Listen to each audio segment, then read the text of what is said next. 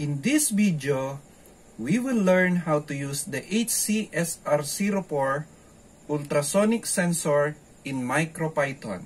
With ultrasonic sensor, it can be used for measuring distance or it can be used for sensing an object. Ultrasonic sensor has two cylinders in front which serves as transmitter and a receiver. The ultrasonic sensor works by sending out a high-frequency sound waves and the distance is calculated by the time it takes for the signal to reflect. We will not go any further with the technicalities. The library have take care of it. HCSR 04 module is not built in on MicroPython's firmware. Fortunately, there is available module we can use. It is written by Roberto Sanchez. So it's available in GitHub, uploaded by RSC 1975. To use it in MicroPython, we just need to upload it in a MicroPython's root directory of our device. So what we can do is copy this one copy and paste it in Thonny Python. Now, let's upload it to MicroPython's root directory by clicking the File menu, then click Save As, then select MicroPython device. And let's name it as hcsr04.py. To verify that the file is written in MicroPython's root directory, click the View menu, then select Files. And the list of available files in the MicroPython's root directory is listed. Now to use the HCSR04 module, we just need to type import HCSR04. Hit enter.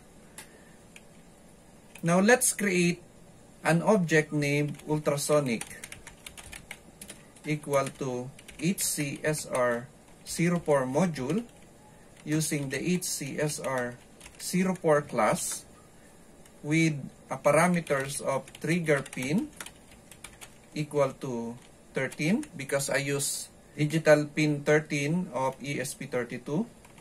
Let's also input a parameter echo pin equal to 12 and lastly the echo timeout US in microseconds equal to 1 million. 1 2 3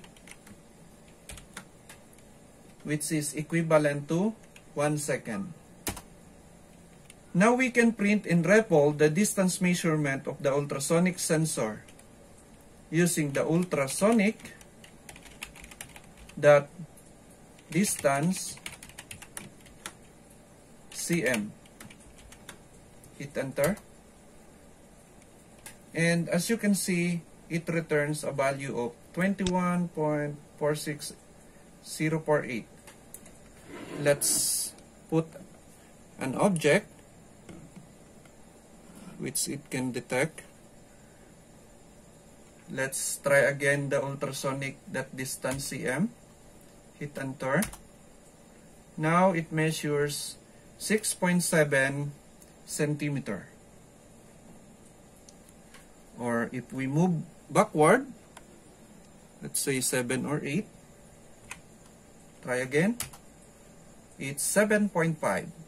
For example number 1, let's demonstrate something sort of intruder alarm.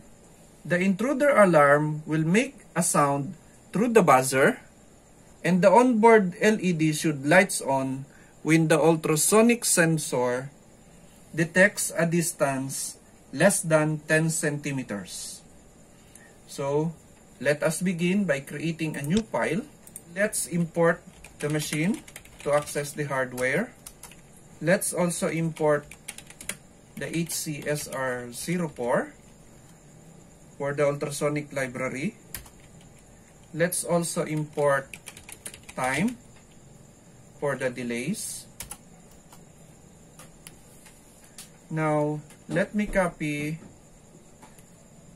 this part to create the object ultrasonic. Now, let's create an LED object using machine. That pin to GPIO2, set the pin direction to machine that pin, that out. Let's create the PWM controlled buzzer object which is attached to one of the buzzer pin. So, let's create the buzzer object equal to using the machine that PWM and let's set the pin assignment to machine.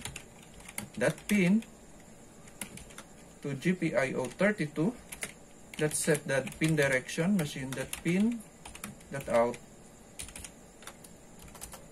Let's set the buzzer frequency buzzer that frequency to a high pitch frequency, let's say 4186. This frequency resonates as an 8 octave C note and initialize the buzzer duty to 0. This will ensure that the buzzer will not make any sound initially. Now let's create the main loop using the while true. Inside the main loop, let's get a distance. Distance equal to ultrasonic that distance in centimeter. Now we can print the measurement in the REPL. Let's say print distance is distance in a unit of centimeter. Or set a bar here. Distance in in inches. So let's divide it to 2.54 with a unit of inch. Let's close it. Here we can create an if statement to check if the distance is less than 10 centimeter. So if distance is less than or equal to 10 centimeter, inside it, turn on the buzzer by setting the duty value to 512. Buzzer, that duty, 512. Let's also turn on the LED using the LED that on. Else, I want to turn off the buzzer by setting the duty value to 0 and turn off also the LED by LED dot off. Here, we can add some delays. Let's say time, that is sleep, in milliseconds, let's say 1000 milliseconds or 1 second. Let's save it in MicroPython device. Let's save it as main.py. Let me reset the ESP32. And as you can see, it's already detected the intruder. Let's move it further. So now it's 10 centimeter, more than 10. So I will move a little bit again, moving forward. 10. Oh, 9.5.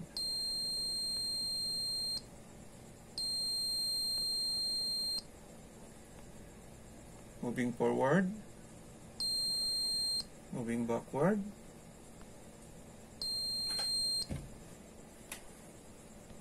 I will move it move it further.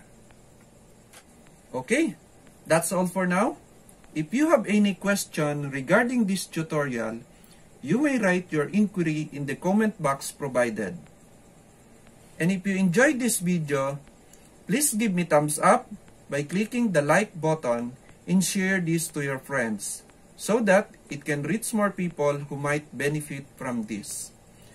And if you are not yet subscribed, please do subscribe now. You might also like to visit my blog post at tech2tinker.blogspot.com for more details and references such as circuit diagram and source code. Thank you and have a good days ahead. See you in the next video. Bye-bye.